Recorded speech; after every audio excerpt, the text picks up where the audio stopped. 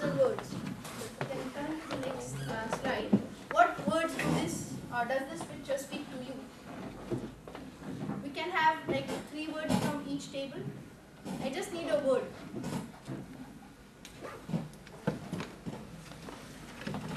Yes, Fantasy land. fantasy land, Palace and natural beauty. palace and natural beauty. Difference. There's a difference. Choices. Choices, the shades, Route, different route to approach. two different approaches, Vision. the vision, Yin and yang. the yin and the yang, Okay. Alice in Wonderland. Alice in Wonderland. Great. Yeah.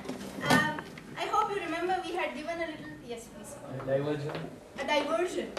Thank you. Uh, uh, you can go back to the little homework that we had given. There was a bunch of words and a bunch of phrases. Can you relate those words with what is being shown to you? Homework is Uh, he actually gave the first word, I suppose. Yes. Divergent. Yes, I ma'am. have. Difference. Doubt. Travel. Difference, doubt, travel, guiding and leading, lead,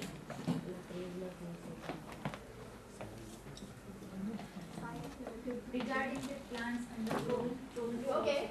Uh, trodden, untrodden, the plants, growth, undergrowth. Two roads diverge to a wood. Oh, excellent. You have actually begin what we have wanted to teach.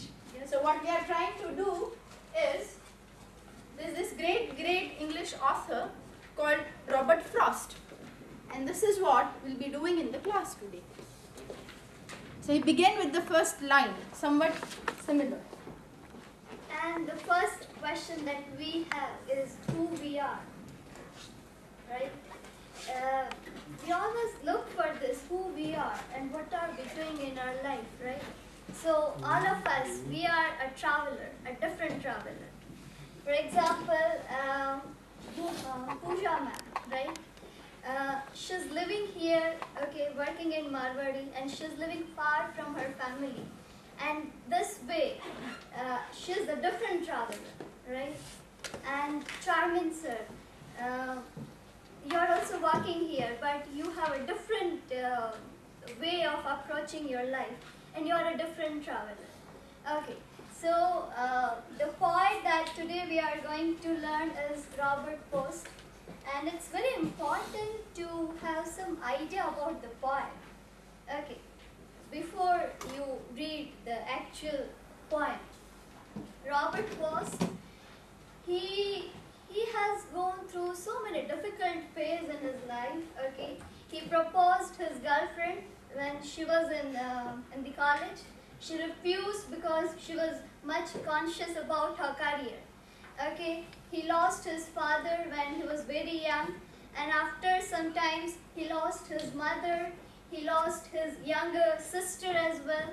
Okay, so uh, he has gone through so many difficult phases in his life. Okay, so this is uh, uh, I'm giving you a background so that you can understand the poem very well. This is a writer that we are going to look today. Okay. So as it's a poetry session, the very first thing is we should read the poem and then we'll begin. Okay. So um, can somebody from, like there are four stanzas to it. So at least uh, one person from one uh, of the tables can read it for us aloud. Yes. So shall we begin from one of the side? The one remaining table will ask you something else to be done. So don't worry, we'll include you. Right? Because uh, there are just four stanzas. Yes. Yes. And have a close reading of the poem. So we'll read it loud so that the others can also listen to it. One from a table we'll Yeah. read one stanza. One stanza. That's there it is. Two roads